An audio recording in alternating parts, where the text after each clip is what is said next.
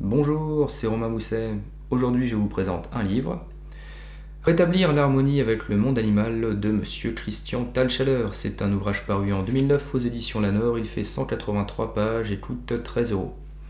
Cet ouvrage s'inscrit dans la série de notes de lecture intitulée Spiritualité et parascience, euh, ayant comme ligne rouge le chien de compagnie et traitant de sujets tels que la philosophie de vie, les peuples premiers, euh, le chamanisme, l'énergétisme, le concept de chien miroir, certaines euh, particularités physiologiques euh, et psychologiques du chien et entre autres sujets la communication animale. Parce qu'il est important selon moi d'avoir des bases en physiologie canine, de connaître certains fondamentaux de la médecine vétérinaire ou d'anatomie ou de premier secours, est également important de comprendre et de connaître la psychologie du chien pour euh, assimiler des process cognitifs qui permettent de conditionner ou de reconditionner un chien dans des protocoles d'éducation et de rééducation comportementale. Il est également essentiel pour une approche holistique, euh, selon moi, une fois de plus, d'avoir connaissance de ces sujets relativement inconnus, quoique ce sont des sujets maintenant qui commencent à se développer euh, et à être étudiés dans le, domaine vétérinaire, tout ce qui va concerner notamment euh, le concept du chien miroir, le phénomène de double empreinte et, euh, et l'adaptativité du chien en termes de tempérament sur celui de son maître. J'aurai l'occasion d'y revenir à travers des articles sur le blog ou d'autres vidéos par la suite. Euh, ce sont des sujets notamment qui avaient été étudiés euh, pour certains d'entre eux par euh, Rupert Sheldrake dans son ouvrage Ces chiens qui attendent leur maître et autres pouvoirs inexpliqués des animaux que j'avais présenté sur un format de 40 minutes, format classique, et un format de 20 minutes pour la Team Capdol il y a à peu près deux ans. Rupert Sheldrake qui, était, enfin, qui est scientifique de formation, qui avait étudié euh, la télépathie, la précognition et la prémonition chez le chien de compagnie à travers des protocoles euh, scientifiques qui avaient été euh, approuvés par la communauté, qui avaient été suivis et relayés notamment en Angleterre et par une télévision d'un pays de l'Est, je ne sais plus lequel. protocole qui avait été démontré, donc est validé, et qui avait été contre-étudié par certains scientifiques sceptiques qui avaient une fois de plus validé toutes les découverte de Rupert Sheldrake. Euh, il en profitait également pour euh, développer sa théorie des champs morphiques. Donc c'était un, assez gros pavé que j'avais développé euh, il y a deux ans dans des vidéos et que vous allez pouvoir relire si vous le souhaitez. donc pour moi, pour une approche globale et holistique de la compréhension d'un chien de compagnie et de sa relation à l'humain, il est essentiel de connaître ces trois facteurs, la physiologie, la psychologie et cet aspect un peu spirituel du chien de compagnie et tout ce que cela implique dans la relation et évidemment le développement de certains problèmes de comportement. Ça me fait penser notamment à Monsieur Guillaume Bretzner que j'avais eu l'occasion de rencontrer en séminaire d'anthroposologie et cognition animale en février 2018. Euh, Monsieur Guillaume Bretzner, donc, qui ne travaille qu'en lien avec une psychologue pour certaines problématiques comportementales qu'il rencontre, et il a des résultats assez pertinents dans son approche. Donc moi aujourd'hui je voulais vous présenter cet ouvrage de Christian Talchaler parce que c'est un petit condensé qui se lit très facilement et qui est une introduction sur divers sujets. Euh, Christian Talchaler va parler des peuples premiers, euh, du chamanisme, de l'animal thérapeute, euh, de la communication animale et il va dresser aussi un portrait assez important de l'état de notre société occidentale, notamment à travers euh, la médecine, le rapport à l'animal, à travers euh, notre, alimentation, la vivisection et les tests d'animaux en laboratoire. Donc une fois de plus, c'est un petit ouvrage, 183 pages, il se lit vraiment très vite et je partage une très grande partie de la philosophie de vie de Christian Talchaler et j'aurai l'occasion justement d'en parler, nous avons l'occasion d'en parler à travers cette vidéo. Donc euh, c'est parti, en m'appuyant sur certains points clés, je vais vous apporter euh, le discours de Monsieur Christian Talchaler. Donc une petite présentation de l'auteur dans un premier temps. Christian Talchaler est un médecin suisse formé euh, sur les médecines allopathiques, notamment dans, dans l'école de médecine de Genève. Il s'est dirigé vers la médecine holistique euh, au fur et à mesure de son évolution et c'est l'un des pionniers dans ce domaine depuis plus de 40 ans. Il a écrit plus de 50 ouvrages, animé des conférences, et il, anime également des stages de santé globale pour permettre aux personnes de comprendre vraiment ce qu'est vivre en bonne santé actuellement et comment anticiper et guérir un certain nombre de maladies. Euh, en contrecarrant évidemment l'approche euh, de la médecine occidentale moderne. Donc l'un des premiers points que M. Christian Talchaler va développer dans son ouvrage euh, m'intéresse le rendement parce que j'ai découvert cela il y a quelques ans, quelques années pardon. Il va parler du, du peuple premier des Esséniens et de tout leur rapport sur la médecine naturopathique de l'époque. En fait, les Esséniens vantaient une philosophie de vie vraiment riche d'enseignements pour, euh, pour l'homme moderne du XXIe siècle qui est un peu perdu dans cette société malade. Et il rejoint en ce sens les conférences de Guillaume Kezak, qui est euh, naturopathe et euh, conférencier, qui tient une chaîne YouTube que je trouve assez formidable et que je vous conseille justement. Guillaume Kezak, qui en ce sens rejoint aussi les propos de Christian Talchaler sur la critique de la médecine occidentale allopathique. Euh, d'ailleurs, je vous propose un petit extrait de 2-3 minutes de la conférence euh, Comment devenir thérapeute essénien, euh, l'une des dernières conférences de Gillian Kizal sur sa chaîne YouTube, pour vous permettre d'avoir une approche, ou en tout cas un regard critique sur comment est-ce que la médecine naturelle antique, beaucoup axée sur la naturopathie, le rapport au corps et à la nature, c'est euh, dégradé euh, au fur et à mesure des années, notamment depuis la Renaissance, euh, et qu'est-ce qui amène aux déviances de la médecine moderne. cet extrait est assez intéressant notamment par justement, vous verrez à la fin de ces trois minutes, tout le développement des nouvelles médecines alternatives que l'on peut aussi mettre en lien, comme je vous disais, avec l'approche globale en éducation canine de tous ces, enfin de tous ces nouveaux concepts qui vont traiter d'énergétisme, de communication animale, qui commencent à être maintenant étudiés euh, par le, corps scientifique et notamment tous les éthologues euh, pour la prise en compte de, l'éducation et de la rééducation du chien de compagnie. Le scientifique devient le nouveau, le nouvel espoir, le nouveau prêtre de cette société occidentale moderne, parce que le scientifique a la réponse à toutes les questions. Et donc on place énormément d'espoir dans cette médecine. Pour, autant, ce qu'on voit même encore aujourd'hui à notre époque, c'est que beaucoup de maladies finalement échappent au mythe qu'on avait mis en place rapidement, qui est celui de l'éradication. Avec les vaccins, avec les progrès de la science, euh, vous, étudiez encore les discours qui étaient tenus dans les années 50-60, euh, on avait vraiment l'impression que dans quelques décennies, il n'y aurait plus de maladie. Et quasiment l'homme deviendrait immortel parce qu'on découvrirait la cause de l'erreur qu'est euh, le vieillissement, la maladie et la mort. Et pourtant, plus on s'enfonce dans la matière, plus on dissèque. Hein, là, on dissèque des organes, mais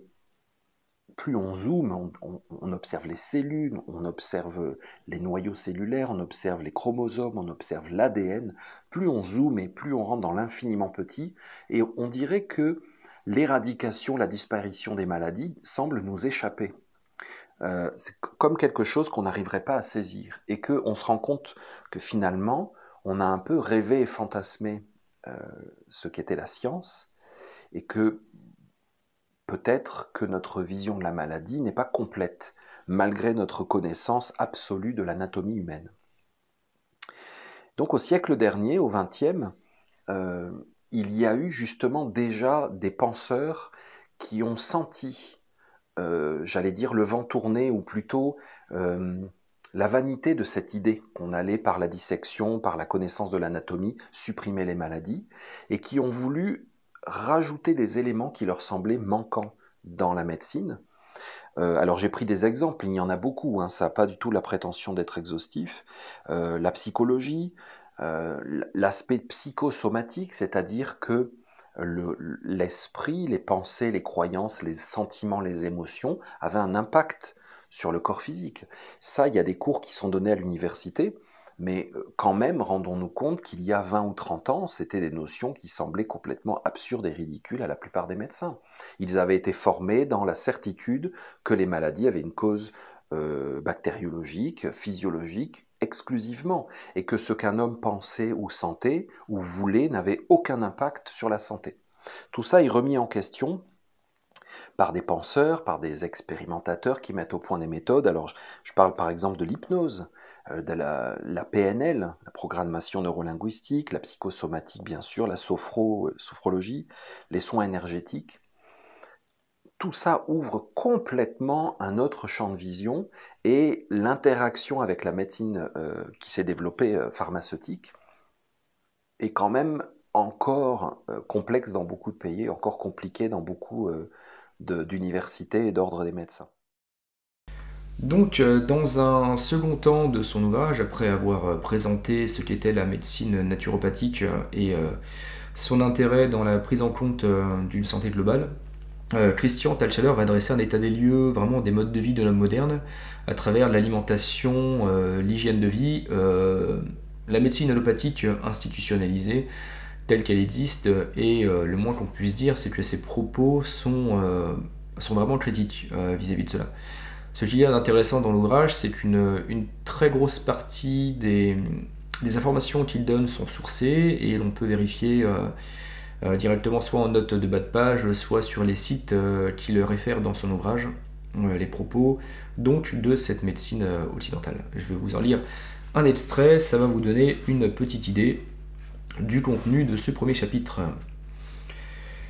Une médecine scientifique hyper technologique s'est développée mais sans avoir pour effet une amélioration de la santé publique. Au contraire, aujourd'hui, les erreurs médicales tuent aux États-Unis une personne toutes les 3 secondes. Gary Newell, un célèbre New-Yorkais défenseur de la santé pour tous, a publié un livre révolutionnaire, Deathly Medicine,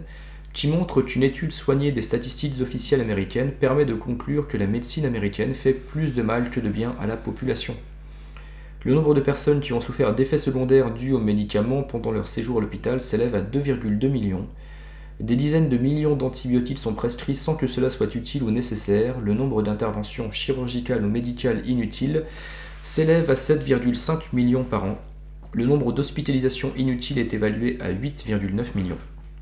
Le nombre de personnes qui, sont mortes à cause d'interventions ou de traitements médicaux s'élève en 2001 à 783 936. Pour la même année, les maladies cardiovasculaires ont tué 699 697 personnes et le cancer un peu plus de 553 200. Il est donc évident pour l'auteur que le système médical américain est devenu la cause principale de mortalité dans ce pays. Il montre que dans les dix années écoulées, la médecine américaine a tué 7,8 millions de gens, soit plus que toutes les guerres auxquelles a participé le peuple américain dans toute son histoire. La médecine américaine consomme 14% du produit national brut, soit 1,6 milliard de dollars en 2003. Avec de telles sommes, elle devrait être la meilleure médecine du monde. Or, c'est tout le contraire qui s'est produit parce qu'au lieu d'informer, d'éduquer et de montrer au public comment vivre en bonne santé, la médecine s'est développée uniquement dans la poursuite de traitements chimiques et chirurgicaux qui coûtent très cher sans améliorer la santé collective globale. Ce qu'il y a d'intéressant euh, à comprendre dans cet extrait, c'est qu'il faut savoir que la politique, euh, qu'elle soit financière, qu'elle soit médicale ou qu'elle soit sociétale aux États-Unis, euh, n'est qu'une projection de ce qui nous attend dans nos sociétés européennes. Euh, on parle de deux ou cinq années, je ne sais plus, de différence entre, euh, entre les politiques mises en place, mises en place pardon, aux États-Unis et les politiques mises en place en Europe. tout ce qui va concerner certains échanges transnationaux, certaines lois européennes qui sont évidemment dictées par certains lobbies américains, ça je vous apprends rien sur ça. Mais toujours est-il que euh, cette critique-là, que l'on peut retrouver dans cet ouvrage-là, elle est évidemment à mettre en lien avec euh, la médecine française. Ça me fait penser, évidemment, tout cela est fait avec la complicité des médias. Vous prenez par exemple un, youtubeur assez connu maintenant, qui s'appelle Thierry Casasnovas, qui, vendait le, qui vantait le crudivorisme et, euh, et, justement la médecine naturelle, qui est maintenant jugé par la justice comme euh, sectaire et qui commence à être attaqué par rapport à cela, euh, notamment sur les derniers propos qu'il avait pu tenir sur euh, l'épidémie de la Covid-19. ça renvoie également à bah, Christian Talchaler, l'auteur de cet ouvrage, qui est considéré comme conspirationniste. on peut également faire le lien avec le professeur Henri Joyeux, qui a été rayé du Conseil de l'Ordre des médecins, alors que pourtant il avait été numéro 1 en cancérologie à l'hôpital de Lyon pendant plus de 30 ans, parce qu'il a commencé à tenir des discours assez sérieux contre la vaccination, discours évidemment appuyés par nombre d'études scientifiques indépendantes. Et on peut aussi mettre ça en lien avec le passage sous silence du professeur André Gernez, qui depuis les années 70 avait mis en place des protocoles euh, pour guérir et en tout cas soigner certains cancers à base euh, de jeunes et en s'appuyant sur euh, notamment le prix Nobel allemand de médecine dans les années 30 qui avait déjà expliqué que une cellule cancéreuse ne pouvant pas se développer dans un milieu alcalin, en faisant jeûner l'organisme du corps, on pouvait réduire, voire parfois même avoir des, rémissions complètes de cancer selon les stades de développement sans utiliser de chimiothérapie ou, euh, ou de médecine au rayon. Alors évidemment, tous les propos, euh, tous les travaux, notamment du professeur André Gernès, qui est décédé en 2014 maintenant, qui avait été le plus jeune médecin de France à l'âge de 21 ans, euh, avaient été reconnus et validés dans certains pays, notamment les, des pays du nord de l'Europe tels que la Norvège ou la Suède, certains États, aux États-Unis aussi, où ces protocoles sont mis en place, mais en France, évidemment, euh, il n'a, même si tous ces protocoles ont été validés par le Conseil de l'ordre des médecins, ils ne sont absolument pas mis en application parce que ce sont euh, euh, des, moyens de, de, soigner ou en tout cas de retrouver la pleine santé sans utiliser de médicaments et évidemment ça ne plaît pas aux laboratoires pharmaceutiques. Donc dites-vous bien que cet état des lieux que Christian Talchaler développe dans son ouvrage concernant la médecine allopathique par rapport euh, aux bienfaits que peut produire une santé globale à travers la naturopathie euh, sont vraiment d'actualité, euh, de par toute la pandémie de la Covid-19 et de, de, toute cette peur et cet abrutissement des masses qui est mis en avant. il faut comprendre en lisant cet ouvrage-là que vous allez obtenir vraiment une élévation de votre niveau de conscience si vous n'êtes pas du tout ouvert ou en tout cas au courant de ces sujets-là. Donc dans, un, dans, une troisième partie de son ouvrage, euh, Christian Talchaler va évidemment critiquer la condition animale à travers euh, l'élevage, à travers euh, les conditions d'abattage et la consommation des animaux, notamment bah, sur tout ce qui va être sur l'utilisation des animaux en laboratoire ainsi que l'hypocrisie des politiques qui écrivent des lois, notamment sur le bien-être animal. L'ONU en 78 qui avait créé la charte de la Déclaration universelle des droits des animaux, euh, qui expliquait notamment que tout animal avait droit à la liberté, au respect de sa personne, et qu'il était interdit de pratiquer n'importe quelle souffrance euh, sur un animal, évidemment. Quand vous voyez les tests sur tous les animaux de laboratoire et bah, ne serait-ce que les conditions de vie des animaux qui sont destinés à la consommation humaine, ça donne quand même pas mal à réfléchir. Euh, donc la non prise en considération du bien-être animal joue pourtant sur la santé. Euh, il y a justement une petite citation, euh, page 68, qui résume tout ça. je vous la lis, elle est un peu plus courte que la précédente. Comment avons-nous pu oublier cette vérité? Que rappellent Anne et Daniel Meroy Givaudan pardon, dans le peuple animal, la souffrance d'un animal sans stress s'imprègne naturellement sur son organisme éthérique, appelé aussi âme vitale. La réalité éthérique, quant à elle, est véhiculée dans la chair par l'intermédiaire du sang. Lorsque nous absorbons une chair animale ainsi impressionnée par des éléments douloureux, nous faisons nôtre inconsciemment la mémoire du stress et la souffrance en question. Voilà la civilisation du bœuf, le triomphe du matérialisme qui veut mettre à mort toute forme de quête spirituelle. Les groupes qui osent encore chercher le sens de la vie hors du conformisme et de la pensée humide sont traités de sectes et pourchassés comme les sorcières du Moyen Âge. Les personnes qui veulent manger autrement qu'en suivant les slogans publicitaires sont déclarées marginales et asociales. Les médecines douces sont montrées du doigt, déclarées non scientifiques et considérées comme des hérésies dangereuses par les jésuites de la médecine orthodoxe et les évêques de l'église pharmaceutique. Donc ça rejoint un petit peu ce que je vous disais, à savoir tout le bannissement des médias et le passage sous silence de nombreux youtubeurs ou bien même médecins, voire même professeurs émérites euh, depuis, comme je vous disais, les années 70, notamment en France, sur toute cette philosophie qui pourtant est primordiale à connaître aujourd'hui. Concernant l'inutilité des essais cliniques et de tous les tests euh, pharmaceutiques qui sont qui sont utilisés sur les animaux. Euh, Christian Talchaler va parler d'une association euh, aux États-Unis qui est reconnue d'utilité publique et qui milite sur, euh, sur cela. depuis les années 90. une fois de plus, le contenu de cet ouvrage est beaucoup sourcé et ne serait-ce que allez vous-même sur, le, sur les sites dont il est question et les rapports d'études et d'analyse médicale euh, que M. Christian Talchaler relaie euh, est aussi intéressant pour une fois de plus élever votre niveau de conscience et en tout cas euh, oui, ouvrir, ouvrir les yeux sur un certain nombre de choses qui sont totalement mises sous silence. je vais vous lire d'ailleurs une dernière citation pour cette note de lecture qui parle justement de l'absurdité des essais cliniques sur les animaux. Euh, le docteur Henri Pradal a écrit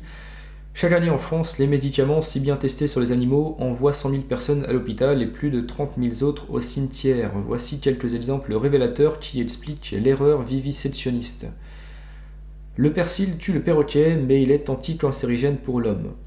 Les amandes sont très toxiques pour le chien, le pigeon et le lapin, mais ces animaux peuvent ingérer une dose de belladone qui tuerait un homme. Le potiron peut produire de graves troubles chez le cheval. L'arsenic est supporté en grande quantité par le mouton, l'acidule n'empoisonne pas la chèvre. Seul le koala peut manger les feuilles toxiques d'eucalyptus. L'aspirine comme l'insuline sont tératogènes chez le rat alors qu'ils ne le sont pas chez la souris et le cobaye et peu chez l'homme. La pénicilline comme la, digitaline pardon, sont mortelles chez le cobaye quasi instantanément, tandis que cet animal peut sans dommage ingérer de la strychnine qui est évidemment mortelle pour l'homme. La morphine engendre une surexcitation chez le chat ou la souris, alors qu'elle est inhibitrice du système nerveux et antalgique chez l'homme. L'acide prussique peut être absorbé sans dommage par le porc-épic à une dose qui décimerait littéralement un régiment, tandis que le chloroforme est particulièrement toxique pour les chiens.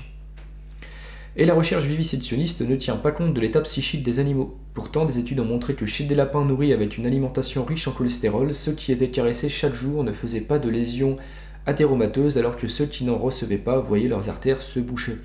C'est aussi quelque chose qu'on peut mettre en lien avec euh, le stress que peut développer certaines personnes et euh, comment les modes de vie, euh, les, les le travail ou certains stress, une fois de plus, que les personnes peuvent subir, peuvent altérer la santé.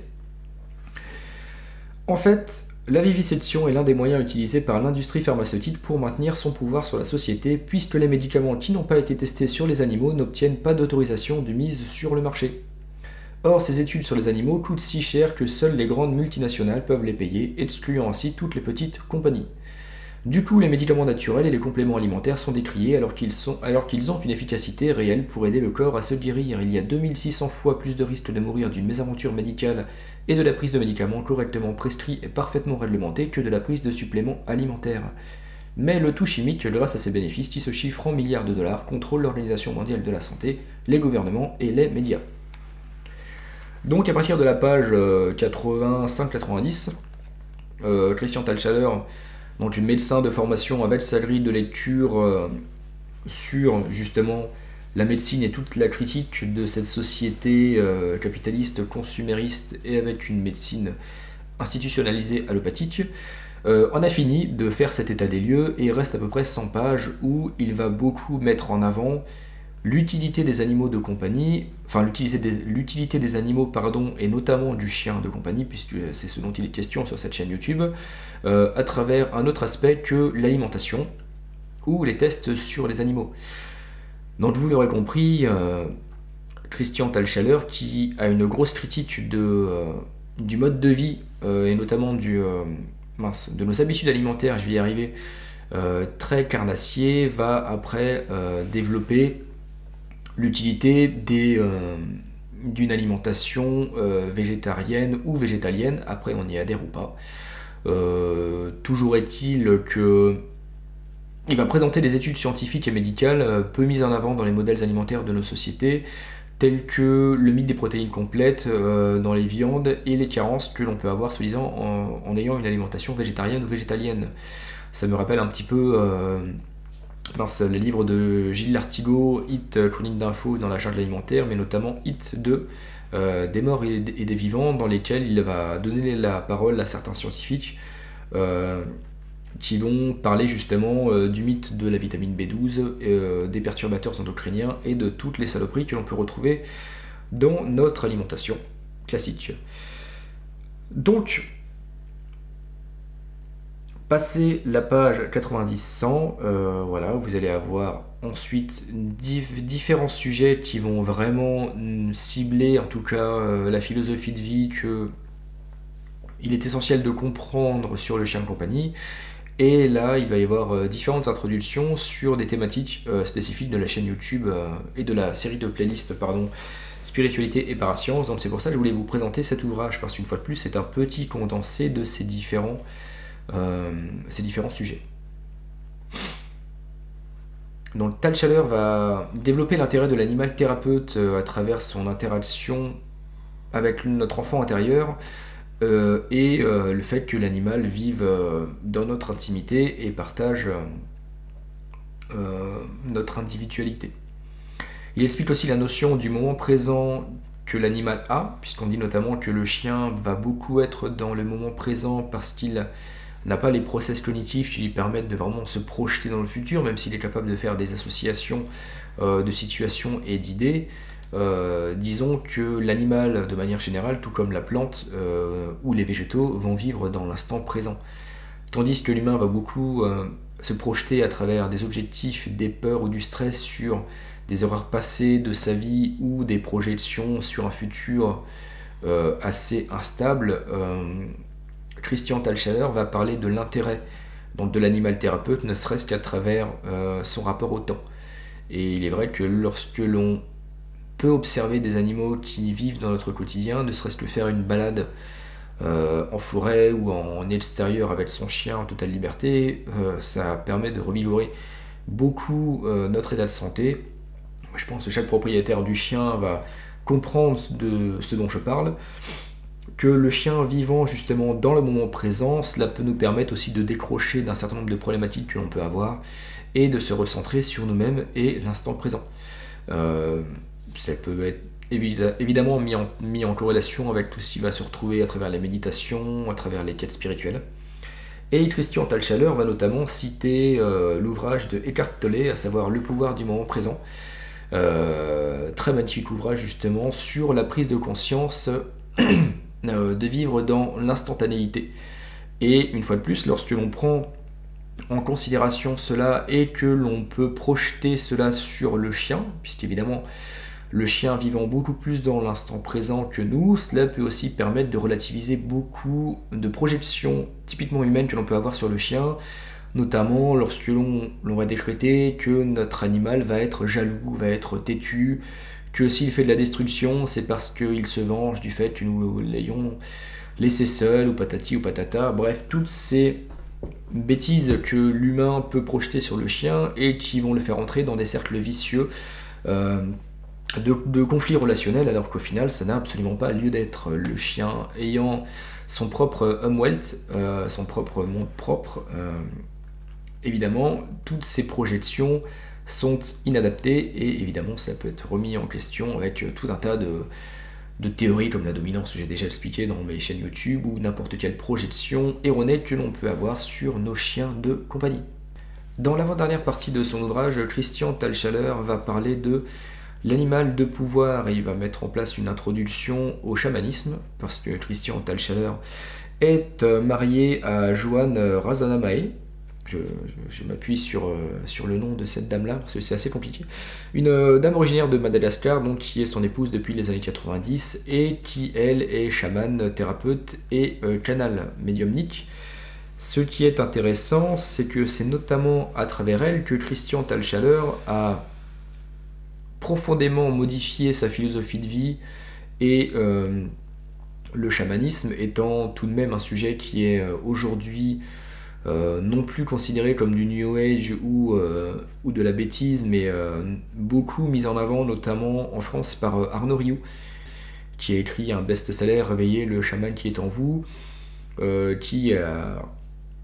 également fait des oracles, mais là on va beaucoup plus rentrer dans la spiritualité, donc je ne vais pas forcément rentrer là-dedans,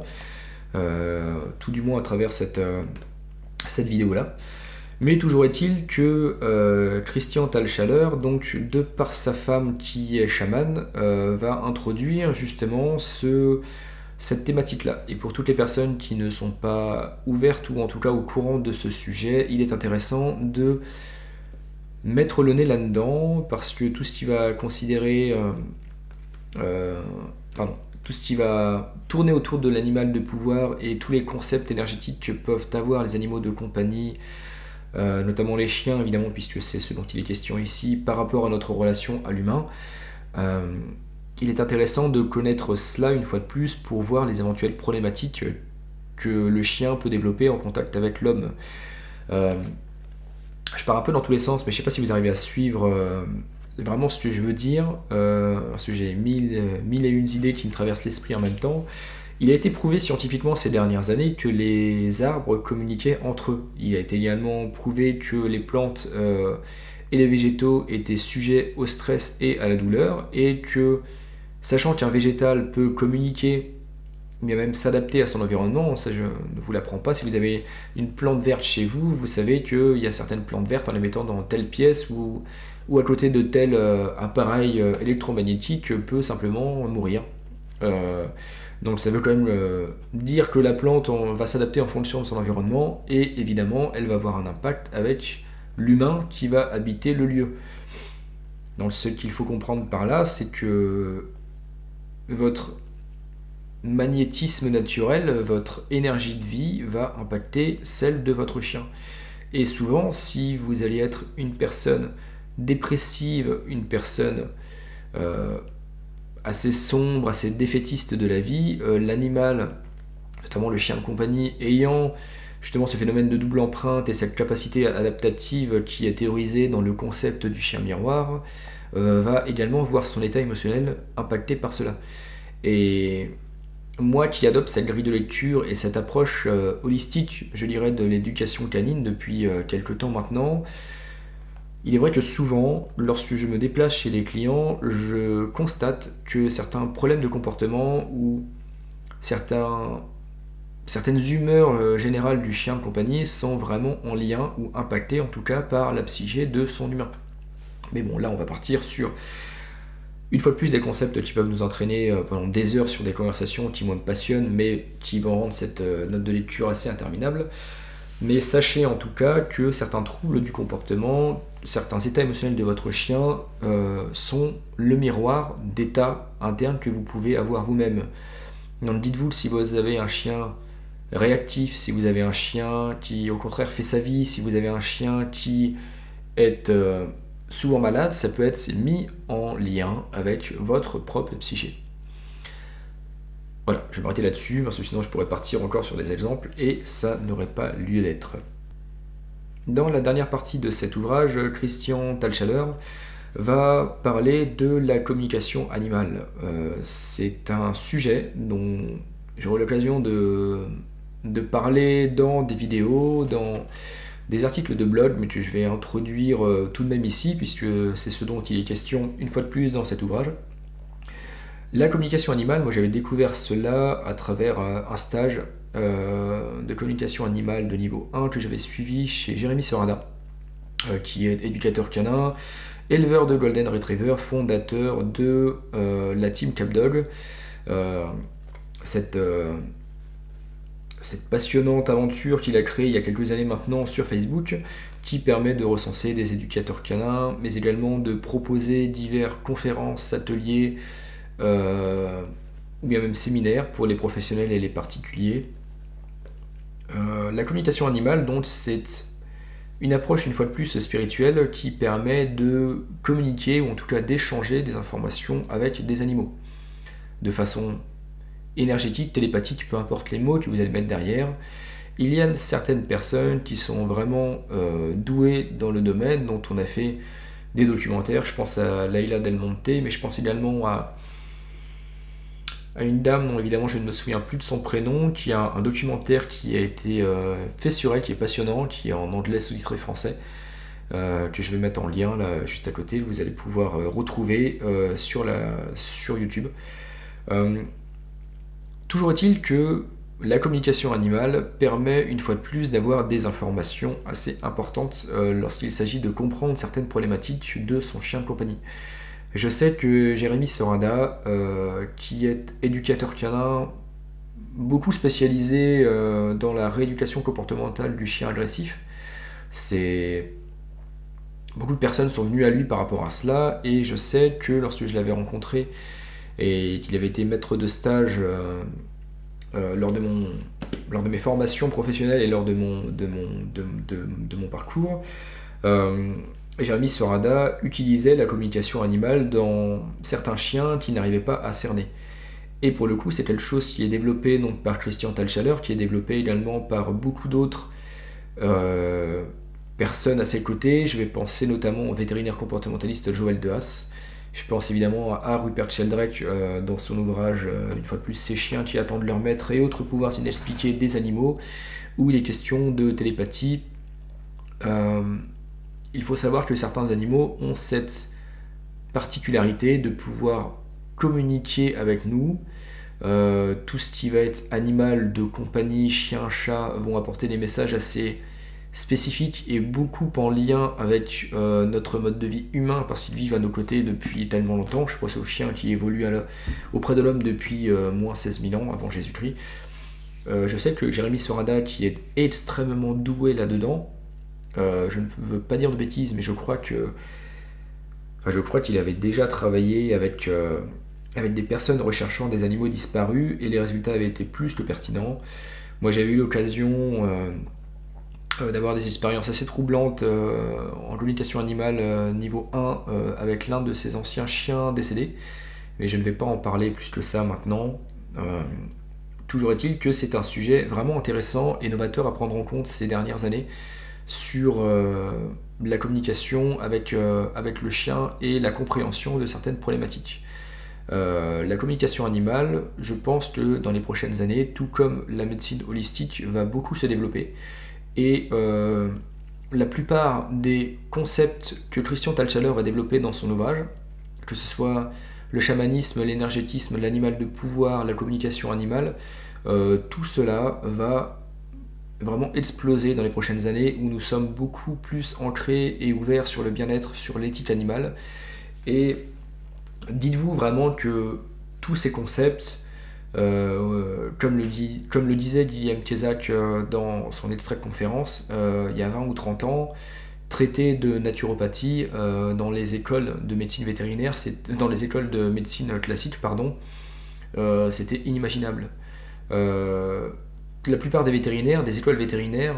parlaient et mettaient encore en avant comme modèle éducatif ou de compréhension de la hiérarchie homme-chien euh, la théorie de la dominance, alors que pourtant les décriée depuis la fin des années 90. Mais toujours est-il que les sciences mettent un certain nombre d'années à se développer et tous ces process-là, tous ces, tous ces éléments de compréhension, pour moi, sont à prendre en compte dans une approche globale du chien compagnie. Donc voilà, je vais m'arrêter là pour cet ouvrage. Euh, assez atypique, je vous l'accorde, je reviendrai sur des ouvrages beaucoup plus axés sur la psychologie du chien, sur l'éducation par la suite.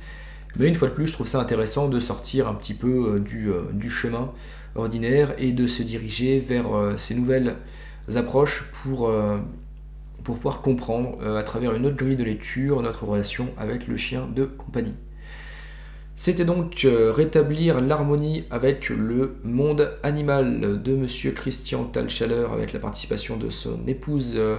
Joanne euh, Razanamae. ouvrage paru aux éditions Lanor en 2009, il fait 183 pages et coûte 13 euros. Je vous le recommande vivement pour élever votre niveau de conscience, obtenir des outils de compréhension sur notre société à sa dérive, euh, malheureusement nos mauvaises habitudes alimentaires, d'hygiène de vie et notre rapport optimal que nous pourrions avoir au corps, aux végétaux et aux animaux. Donc notamment pour améliorer votre relation avec le chien compagnie, puisque c'est ce dont il est question dans cette chaîne YouTube. Je vous remercie pour votre attention, euh, prenez soin de vous et à bientôt.